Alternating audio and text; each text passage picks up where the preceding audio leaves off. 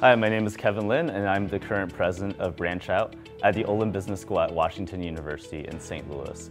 I want to welcome all of you guys to Olin. It's been a really wonderful two years for me, and it's a really welcoming community.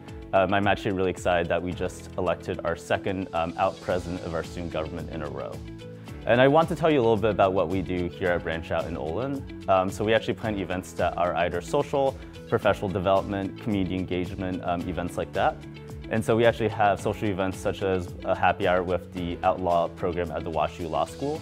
Um, we've done a drag brunch and nights out in the Grove, which is the neighborhood of St. Louis. Um, we've done professional and community engagement events such as finding um, opportunities for students to engage with the local St. Louis community. I'm just really excited that it's, it's a really great community where we have a lot of out students, out women, people of color, who really found a great community and have really been involved in leadership positions. I'm really excited for you guys to join us.